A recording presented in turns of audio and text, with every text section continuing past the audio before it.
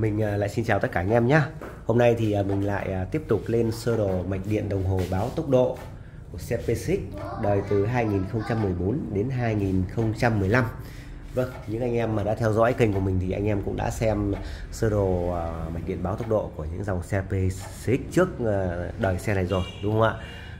Cơ bản là giống nhau, chỉ có khác về màu dây một chút. Đấy.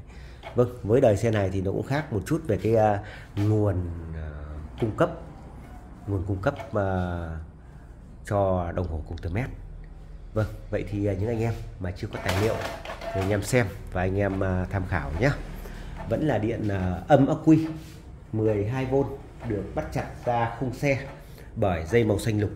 Điện dương ắc quy được đưa lên bằng dây màu đỏ và đi tới hai cầu trì trước ổ khóa một cầu trì 25A cầu trì chính sau khi điện dương nó quy đi qua, chuyển màu thành dây đỏ dọc trắng và đi thẳng tới tiếp điểm của dây lai chính và nằm chờ đó.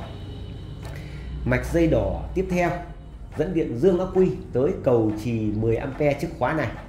Và sau khi điện dương ắc quy đi qua, chuyển màu thành dây đỏ sọc trắng và đi lên ổ khóa điện.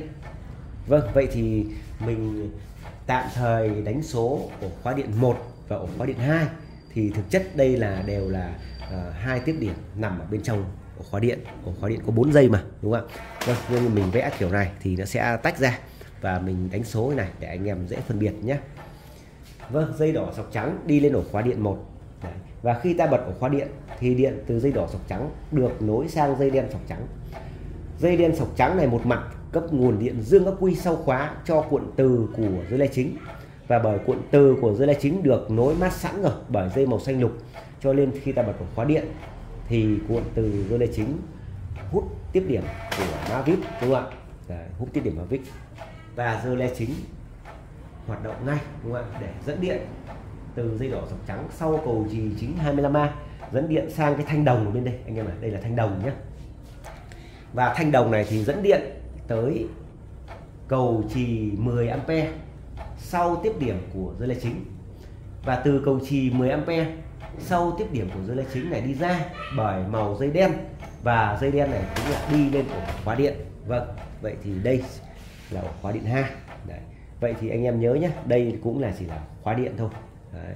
cho nên mình đánh số này để anh em dễ phân biệt nhé Vâng và lúc này thì ổ khóa điện đã bật thì các tiếp điểm đều nối với nhau rồi, đúng không ạ? Cho nên là dây đen sẽ dẫn điện dương ắc quy sang dây màu nâu và cấp nguồn cho cụm đồng hồ. Vâng, dây đen sọc trắng này tiếp tục cấp nguồn cho cảm biến tốc độ VS. Và anh em thấy là gì? ESM là dập mát cho cảm biến tốc độ VS vâng vậy thì uh, mát của cảm biến tốc độ VS chính là dây xanh lục sọc đen đúng không ạ? Vâng dây xanh lục sọc đen đi vào ECM để chờ uh, transistor bên trong ECM mà dập mát cho cảm biến tốc độ VS. Dây hồng sọc xanh lục.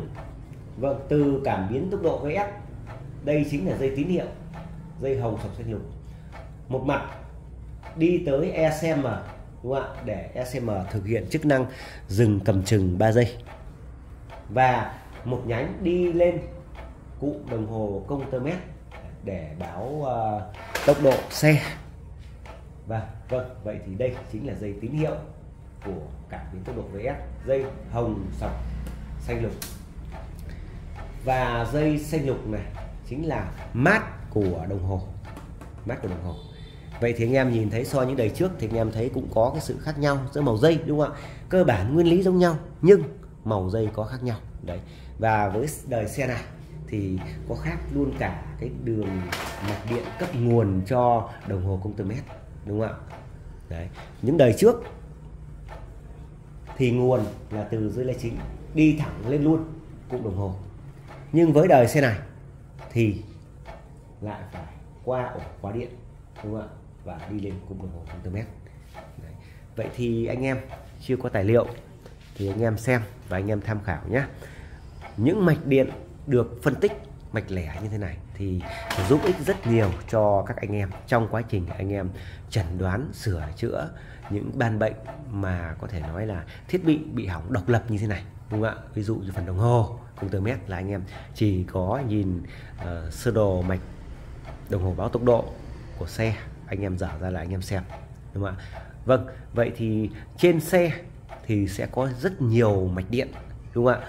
Anh em nhìn thấy sơ đồ mạch điện lắp ráp anh em nhìn một tí anh em rối mắt ngay anh em trả thì tra cứu được cực kỳ khó. Nhưng với những cái mạch điện lẻ như thế này thì anh em tra rất là dễ đúng không ạ? Vậy thì trên xe nó rất nhiều mạch. Đấy. như uh, mạch uh, điện chính này hay còn gọi là mạch cấp nguồn này đúng không ạ? Mạch đèn phanh này đấy ở mạch còi này mạch xi nhan này mạch đèn đêm này đúng không ạ? Mạch khởi động này đấy, rồi mạch đánh lửa này đấy, rồi sơ đồ nguyên lý hệ thống động cơ này. Đấy, rồi à, mạch à, những xe mà có hệ thống chống bó cứng phanh ABS thì có mạch hệ thống mạch về hệ thống chống bó cứng phanh ABS nhé. Rồi những xe mà có hệ thống khóa thông minh thì ờ, lại có thêm hệ thống mạch điện về hệ thống Smart Key đúng không ạ? Vậy thì ừ, xe càng hiện đại đúng không ạ? Trên xe tích hợp nhiều thiết bị thì lại xe đó lại càng nhiều mạch điện. Đấy. và với những xe mà nhiều mạch điện như vậy Đấy, thì anh em thấy là gì? Trên xe tổng hợp và một mạch mạch điện lắp ráp rất là nhiều. Đấy, cho nên nếu như mà anh em không có những cái mạch lẻ như này anh em xem thì thực tế là cũng uh, rất là khó đúng không ạ? Vậy thì uh, sơ đồ mạch điện lẻ luôn là những sơ đồ mà có thể là anh em dễ xem nhất. Đấy, dễ xem nhất và khi mà tìm những cái ban bệnh, trực tiếp hỏng tới những cái mạch điện cụ thể như vậy, anh em chỉ cần có những cái mạch điện như vậy, anh em giờ anh xem là đúng luôn. Và anh em rất là nhàn trong quá trình anh em tra cứu, sửa chữa. Vâng vậy thì à, những anh em mà có nhu cầu về những à, tài liệu mạch điện lẻ như này thì anh em liên lạc với mình nhé. Vâng ngoài những à, tài liệu mạch điện lẻ như này thì mình còn cung cấp cho anh em những bộ máy à, uh, Motosen Tab cũng như là Moto CE Đấy. rồi uh, những bộ đồng hồ đo điện của hãng uh, Kyojitsu như thế này anh em ạ anh em uh, nào mà đã từng dùng đồng hồ Kyojitsu của hãng uh, Kyojitsu của Nhật Bản rồi thì anh em đều biết là đồng hồ rất là tốt đúng không ạ Đấy. phần đồng hồ thì anh em biết rồi trong uh, bộ đồng hồ thì có que đo cũng như hai quả pin Đấy. sách thì toàn tiếng Nhật thôi Đấy. Tiếng Nhật thôi riêng phần đồng hồ thì anh em thấy là rất đơn giản đúng không ạ đồng hồ rất đơn giản, Đấy. và à, thông tin đồng hồ đưa ra thì anh em biết rồi, cực kỳ chính xác luôn, Đấy. các thang đo thì anh em thấy là gì nhà thiết kế đồng hồ, thiết kế anh em thấy rất là rõ ràng, đúng không ạ và đồng hồ thì hoàn toàn tự động, đấy, cho nên là các thang đo anh em thấy là cũng rất đơn giản, đúng không ạ chỉ, anh em chỉ vặn về thang đo vôn xoay chiều này, đấy, còn là các giải điện áp là hoàn toàn tự động rồi, anh em không cần phải chọn giải điện áp, đúng không ạ thang đo điện một chiều này đúng không ạ? Đấy cũng tự động. Riêng thang đo điện trở là anh em dùng một nấc này thì anh em đo được ba chức năng. Đấy anh em vặn về là đo điện trở đúng không ạ? Anh em thay đổi bằng cây nút vàng này thì à, đo diode và anh em bấm tiếp nút vàng nữa thì đo thông mạch. Đấy, tất cả biểu tượng sẽ hiện lên đồng hồ anh em sẽ nhìn thấy nhé đo điện dung của tụ điện này đúng không ạ? Đấy rồi đo tần số hét thì những cái này thì anh em thợ điện tử người ta hay dùng thôi chứ còn anh em thợ xe máy chúng ta thì chả dùng làm cái gì đúng không ạ đấy rồi à, những nấc bên đây thì là miliampere miliampere là ampere đây anh em này đấy anh em đo dòng do này đúng không ạ rồi anh em đo cường độ dòng điện đấy chỉ khi anh em đo như này thì anh em mới rút cái dây đỏ từ đằng đây anh em nối sang đây nhé cắm sang đây nhưng anh em làm xong thì anh em nhớ là anh em cắm trở lại nhé không sẽ đứt cầu trì trong đồng hồ nếu anh đem đo vào vôn nhé còn đây là dây uh, mát chung đấy anh em thấy đồng hồ rất đơn giản. Đấy, rất dễ sử dụng đúng không anh em mua đồng hồ à, đo điện của hãng Kyujitsu Nhật Bản này từ chỗ mình thì mình sẽ gửi video hướng dẫn sử dụng đồng hồ cho anh em nhé vào thẳng Zalo để anh em xem. Vâng vậy thì à, mọi thông tin anh em cứ liên lạc với mình mình sẽ thông tin cụ thể nhé. Ngoài ra thì mình còn cung cấp bộ dụng cụ kiểm tra áp suất nén trong xi lanh động cơ và áp suất nhiên liệu. Đây là bộ đồng hồ hai trong một mà riêng phần đồng hồ thì à, công ty nhập khẩu từ Hàn Quốc nên là chất lượng đồng hồ rất là tốt. Vâng và mình vẫn nói rồi. À, giá trị nhất là cái phần đồng hồ anh em ạ. Trong đây là có à, sách hướng dẫn sử dụng cho anh em này. À, sách hướng dẫn sử dụng này. Các à, đầu đồng này đúng không ạ? Đấy, những cái đầu đầu đầu đầu đồng này thì mình nghĩ cũng chả bao giờ hỏng được. Đấy, bằng đồng mà. Đấy, các dây chịu áp lực cũng như xăng vâng giá trị nhất thì mình vẫn nói rồi, là phần đồng hồ đồng hồ thì à, công ty nhập khẩu từ Hàn Quốc cái cho nên là đồng hồ rất là tốt, anh em ạ Đấy. Đấy. xuất xứ, nguồn gốc rất là rõ ràng và đây là tem của nhà sản xuất đồng hồ, anh em này đây là tem sản xuất của nhà đồng hồ Hàn Quốc Đấy. còn đây là tem bảo hành của công ty Đấy. tem bảo hành của công ty